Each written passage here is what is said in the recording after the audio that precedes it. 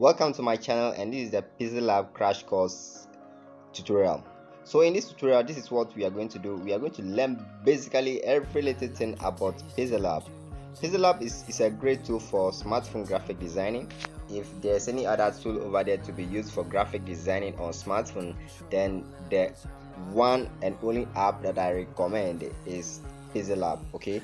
I really love PixelLab and I've been using it for some years now and the works that you can use it for they are just awesome and mind-blowing. So in this tutorial i wouldn't go for any intro. Let's just jump into it straightforward and get to know every little thing about PixelLab that you need to know.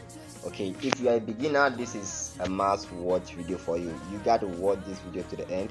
And if you are using you've been using PixelLab for a while now you equally have to watch this tutorial perhaps there are some things that i will equally show you that you probably uh, don't know about yet okay?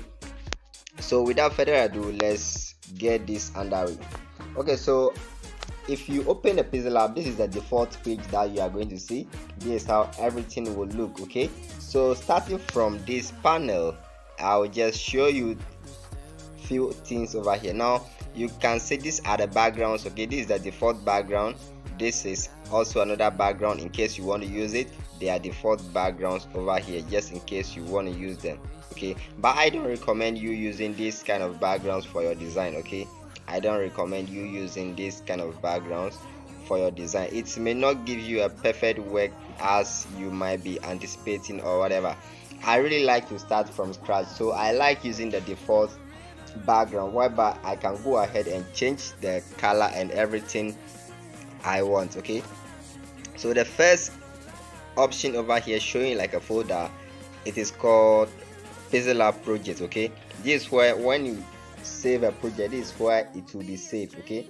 A project in PixelLab is simply a file that you can come back and edit later on okay? Let's assume I want to edit this particular project i'll just have to tap on it and it will appear in my file okay? So i can go ahead and edit it if i want to okay? So that is a PixelLab project file. And equally you can also share the PixelLab project file with another PixelLab user and the person will just go ahead and edit this particular design without having to start from scratch okay? That's one powerful aspect of PixelLab it works just like Photoshop because in Photoshop you can also equally share what you call PSD file with another Photoshop user whereby the Photoshop user another Photoshop user can just go ahead and edit it without having to start from scratch. That is the same thing happening over here in PixelLab okay? So let's go okay? So when you open PixelLab this is what you're going to see after the the project file. We have the default and I've already taken you through this so we have the letter over here a test which will be shown over here that is already selected okay? So let me take you back to this uh, icon which is like a pencil tool or whatever. It is basically for editing okay? So when you tap on it it will enable you to edit this test okay? So first of all you have to select a test before that or select any object before that edit button will appear okay? So assuming i did not select anything you can see that the edit and the delete button are gone okay? But if i select the test right now the edit and the delete button are appearing okay? So what i have to do now is to tap on edit and i'll choose the first one over here. Now when i choose it it will enable me to edit and write my own thing okay? So let's assume i want to write serene okay? So i'll just write serene at okay let's assume this is what i want to write i'll just tap on ok. Now let me just take you through this interface. This interface we have this tt over here is it will just help you to make your text either capitalized or small letter okay? So when you tap on it to change to capital letters. When you tap on it to change to small letters. And the next icon over here is delete icon whereby you can use it to delete the text the whole text that you've entered. And we have the cancel we have ok so when you tap on ok the text will appear over here all right so let's come back to this particular edit tool again. Now you could see that we have so many things over here. Now this particular one is for copy. When you tap on it you make a duplicate of your text that you've entered okay? So if we don't need this text we just have to tap on delete okay? And need to delete like this okay? So let's come back to the edit again and let's try and look at the various options over here. Now we have this tt over here. Okay it's for size. It's for size. You use it to increase the size or decrease the size of your work. Okay. So the next thing over there is rotation icon whereby you can use it to rotate your work like this. Okay.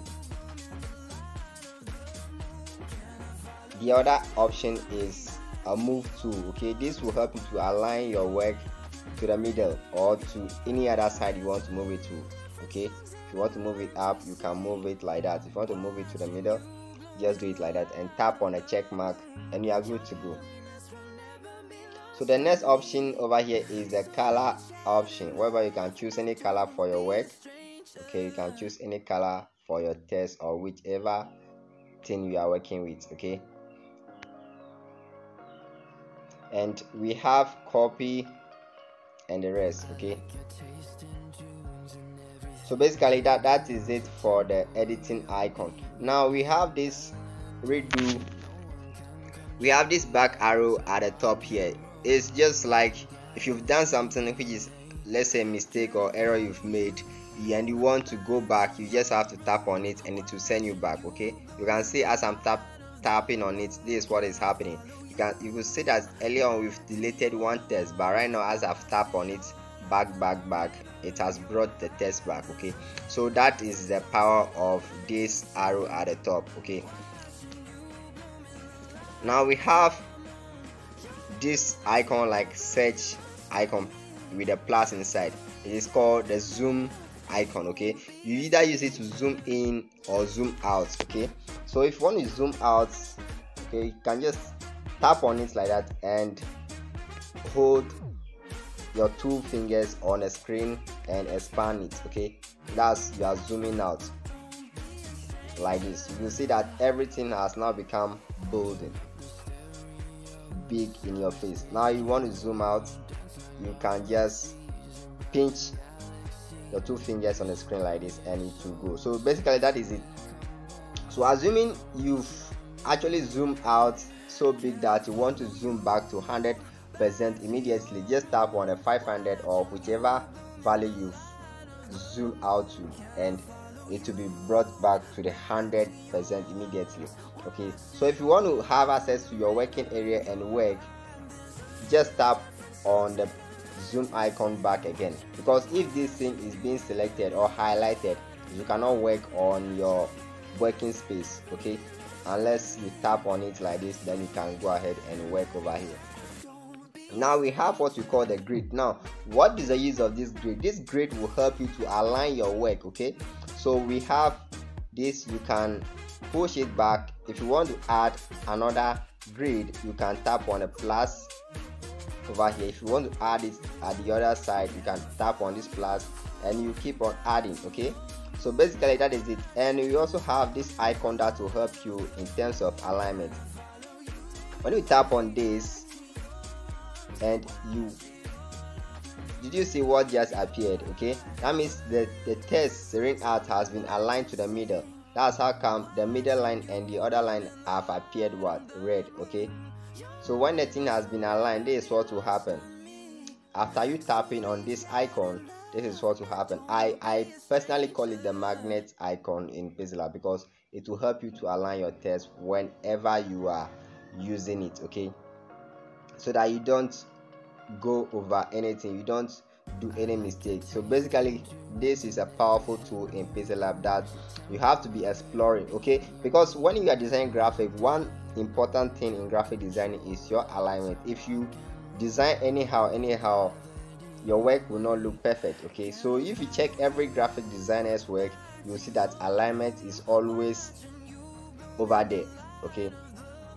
So basically that is for grid. Now we have this icon over here. I call it layer icon because when you tap on it you see all the various layers that you have okay? So basically i have only serene art. Let's let's assume i've added something else okay let's assume i've just added this shape. So when i tap on this you'll see that the shape has also appeared at the top over here. Okay.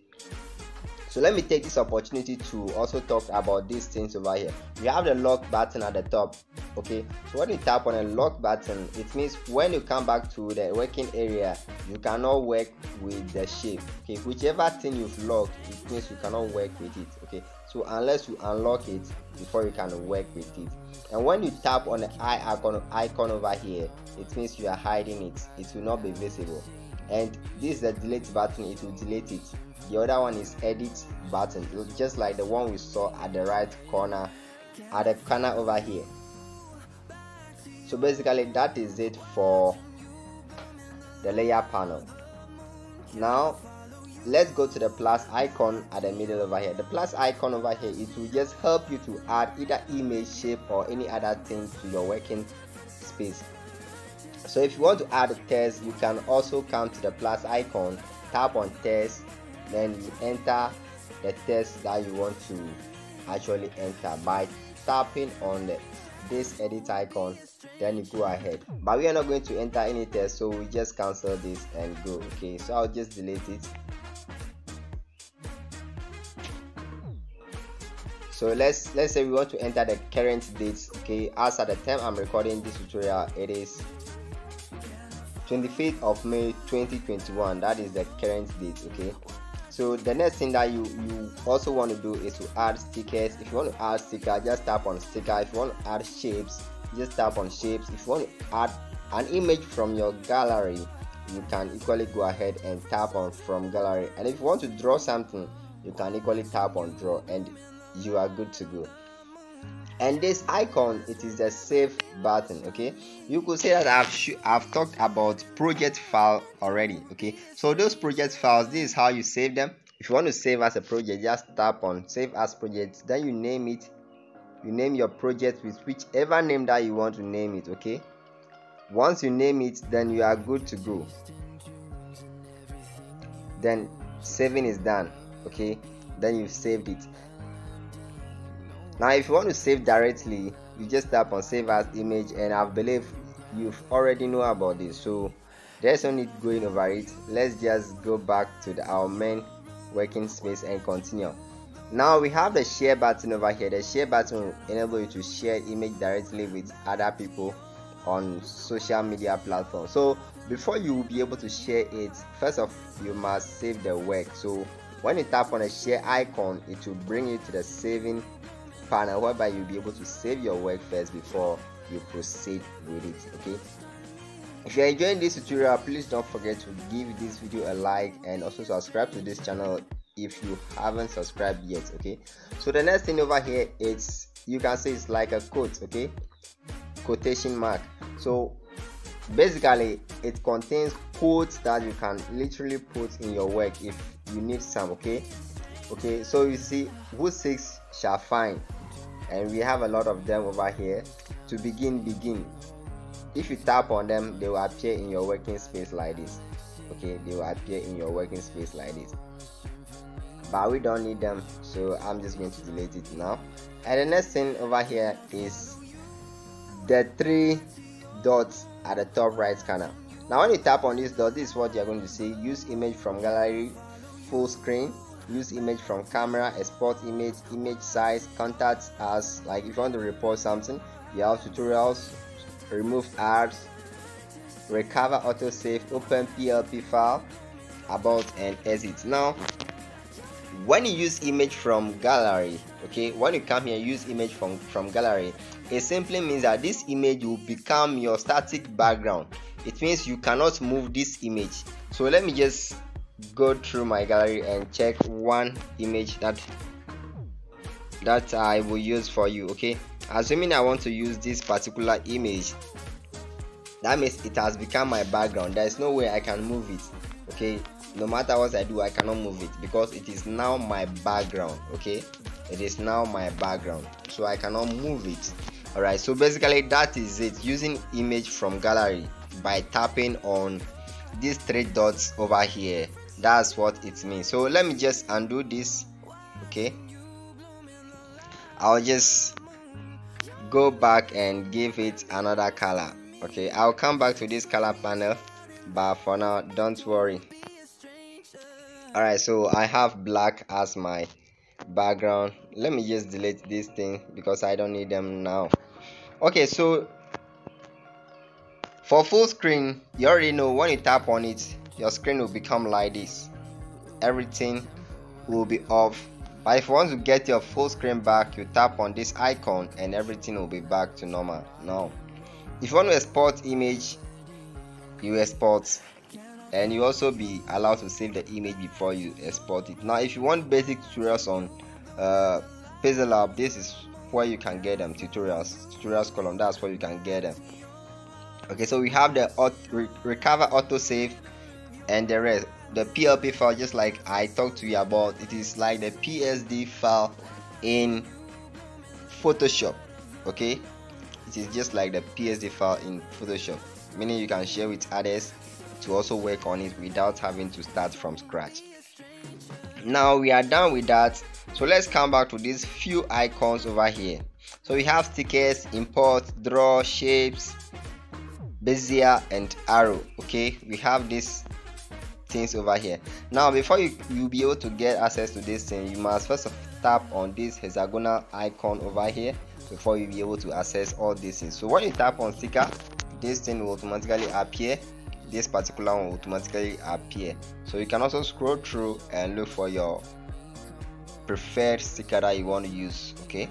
We have few of them over here. You choose your preferred one. And we also have emoji that you can equally choose from okay we have emojis available that you can choose from. But basically i'm not going to use anything. I'll just clear it off now when you come to import this time around when you import a, a picture you can use it on your working space. It will not be a static background in your work okay? So let me use the same picture again. So this time around you can move it about play with it anyhow you want to use it okay?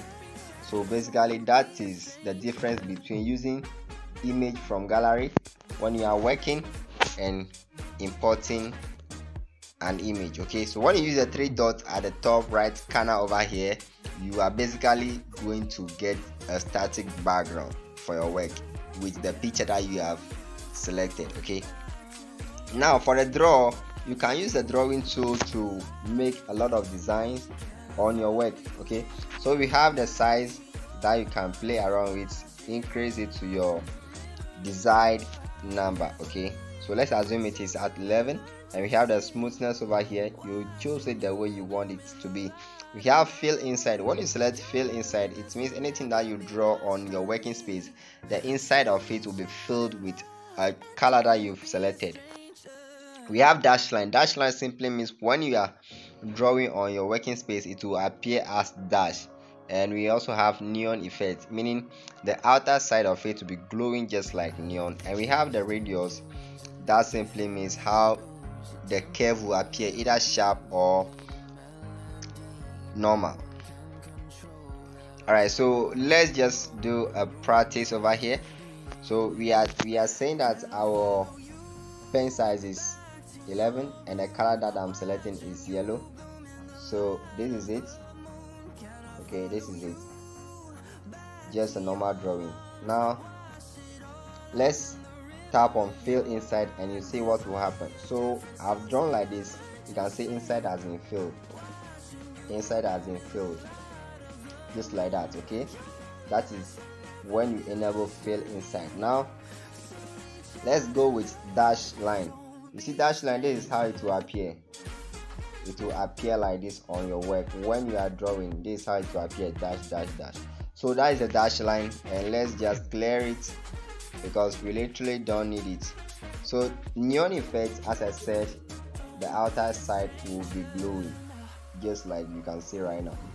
Okay so basically that is it for the drawing tool. Now let's come back to our now let's come back to our tools again. We have shapes. So when you tap on this by default this square will be selected. You can tap on this and you see a number of shapes over here that you can choose and work with. Okay you can choose a number of shapes and work with them. And you can also change the color of the shape over here. Depending on what you want you can change the color of the shape over here. You can also use gradient for the shape as well that is if you like gradient instead of normal color. Alright so basically that is it. You can add a stroke to your work. The stroke can change the color of the stroke as well. You can either choose to apply gradient or whichever one. And you also have the radius the blur radius. The blur radius as you can see it will just enable part of the stroke to be faded away okay but right now we don't need any other anything like this. This is just a tutorial for educational purpose only. So you just have to know the various tools in Pixel Lab and their uses so let me just clear this. And we're back to Bezier tool. So Bezier tool is basically for drawing. Okay let me change my background so that you see it clearly as I enable it. So I'll use this color. No I think let me use something like white so that when I input the Bezier tool you will see it. Okay. So by default the color of it is black. Okay. So when you input it you can use it to draw different different objects. Okay. Depending on how you know the use of it. Okay. You can use it to draw objects. Now let me take my time and and talk to you literally about this Bezier tool over here before uh, I do any other thing else. so first of all you tap on it you could see that the this has been selected okay? You can also select this you can also select this. Now with the first one selected when you come here it means anywhere you tap on the screen there will be a continuation of the previous Bezier tool that has pointed. So if I point this area it starts as a continuation of the previous one now when you tap on the second one it will help you to do alignment or to adjust your work and see where it needs to be moved to okay? You know where it needs to be moved to. Uh-huh. so that is basically the difference between these two. Now the third one will help you to move your your Bezier drawing around okay? Your Bezier drawing around. Now let's assume you are done drawing your Bezier tool okay you are done drawing with your Bezier tool like this and you want to merge them if you want to merge them or like make the lines connect at the end tap on this icon and it will connect. And if you want inside to be filled just increase the opacity then select your preferred color then inside will be filled okay? So basically that is that is it for your bezier tool. You can increase the stroke or put it to zero okay? It depends on your preference okay so basically that is it for the bezier tool and i hope you liked it. And the last one over here is the arrow. Okay we have different types of the arrow. You can also change the color of your arrow and play with it like this okay? That's if you want to point at something you can use the arrow increase the stroke reduce opacity and increase opacity of the stroke as you like it to be so i'm just going to clear it off and we proceed. Now let me bring you back to letter a. Okay so when you tap on letter a at the down here it also stands for the test just like we did earlier on the test and the codes that we've seen earlier on. So i don't think there is a need for us to go over that again now because literally you've already know about it. So let's have a look at the last option over here which is basically this. Now when you come here you see color transparent image size crop image from gallery and from camera. Now let's start with color okay? So when you tap on color it will enable you to actually change the background color of your work. So whichever color that you tap on over here will appear as your background color okay? So basically that is it. And you can also choose gradient for your background if you like. If you're someone who like to work with gradients you can choose gradient for your work okay but if you want to go with just a normal one color you can also go with it. Alright so when you are done with this just tap on the check mark over here. Then you are good to go. Now for transparent transparent simply means that when you are done working and you want to save your work let's assume you want to save in png format. Png format is a transparent format. So if you want to save as png format that's you are basically going to save it as a transparent okay? So when you tap on transparent this is how your work will appear. There will be no background.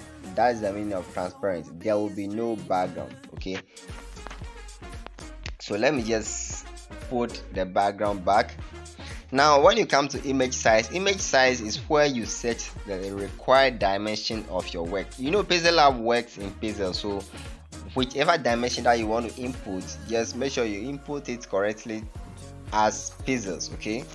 Whenever you want to design something just come here and input the value that you want okay? Just input any value that you want depending on the design that you are going to make. So just do the best out of it okay? And this is the height okay? We have width and height so you can use any size at all that will suit your design use it for your work. So we have the width and we have the height. Now we have the default presets as well. Default presets they are basically custom image sizes that you can choose from. So we have things like square profile picture youtube channel banner youtube thumbnail facebook cover art google plus cover photo and we have twitter header size. So depending on whichever one that you choose that's how your work is going to appear. Let's assume i choose google plus cover photo. This is how our work is going to appear. Let's assume i choose twitter header size. This is how our work is going to appear okay? So let me just go by using that of the youtube channel so that you also get to see it okay so youtube thumbnail this is how the size is going to be. Now when you come to crop okay for you to crop you must select an image that you probably want to crop. So let's select this image. Now when you select this image you can come back to crop okay wow i did not talk to you much about this okay? Let me just use this opportunity to talk to you about this as well. So with this image selected there are few other things that you can equally do about this. You, when you tap on reselect it means you are going back to your working like your your gallery and you're going to pick a file to re- to replace this one that has been selected okay? When you tap on delete it means you are permanently deleting this from your working space and when you tap on crop it means you are going to change the size of your work okay? It means you want to change the size of it depending on your preference. These are the various kind of cropping available by default okay? And if you also want to do if you also want to work with this kind of cropping without having to use the default ones available just make sure that you unlock it and do it your own way okay? Make sure you unlock it and do it however you want it. So basically that is it for cropping. If you want to rotate it you can you can use any of these buttons over here. Okay you can use any of these buttons over here to rotate. So that is it basically for the cropping. Now with the same image selected you can see copy copy over here you can see to front to back position and the rest. So when you tap on copy you are going to make a duplicate of it like this. Okay you tap on copy this is what's going to happen. You are making literally a duplicate of this. And when you tap onto back meaning you are sending the work to the back of all the other elements on your working space. So, so you can see as i tapped so you can see as i tapped onto back it has now gone to the back of the text that i've already entered on our working space okay? So when you want to bring it to the front you tap onto front and that is it. It is as simple as that. When you want to position it you can use this tool okay? Move it about the best way that you want okay? These tools are here to help you now when you come to relative position relative position simply means you position the work either at the middle center to the left corner to the right corner or to the bottom or whichever side. So basically when you tap on it you are going to say this. You're going to say this this this this. Okay so those are the things that are available in relative position. Now for relative size it simply means you're coming to reduce the size of your work let's assume you increase it like this. This is how it's going to be. So it's used for both increasing and reducing the size of your image. That is it for relative size. Now if you want to move only width or only the height you have to tap on or disable the maintain ratio option okay? You can see that when i'm moving this both the width and the height are moving in the same proportion okay? So we have to disable the maintain ratio. So when you disable that is and i move the width only the width will be moving like this. Okay? When i move the height only the height will be moving like this. I hope you got this okay? So that is it basically. And with the same image selected there are few other things that you can do. When you come to color you want to change the color of the whole work. By default when you enable the color it will appear red. Okay? That is it but we don't need it now so let's just forgo it. So when you come to texture texture simply means that when you select this image and you apply texture whatever you are applying as a texture will cover the whole thing over here okay? So let's see an example. Let's assume i'm using this image to to apply as a texture okay? So i'll just tap on this check mark. Now you can see that the image has taken my previous image away it is now appearing as the image we had first okay? So you can also scale the size of your texture okay? Or you also maintain ratio. Okay so let's assume i make the scale of my my texture is 10 percent. This is how it's going to appear. If i make it 205 percent this is how it's going to appear. So basically that is it. And you can select your texture easily like this okay and when you are done with the texture we have what we call opacity. Opacity will just reduce the thickness of your work or increase it. So if i do it like this you can see that it's no more showing like it used to show. Or when you compare it to the other one on the working space you will see that the other one is showing clearly more than the one that I've reduced the opacity for okay so basically that is it for opacity. And we have color filters. Color filters will help you to apply color changes to your work okay?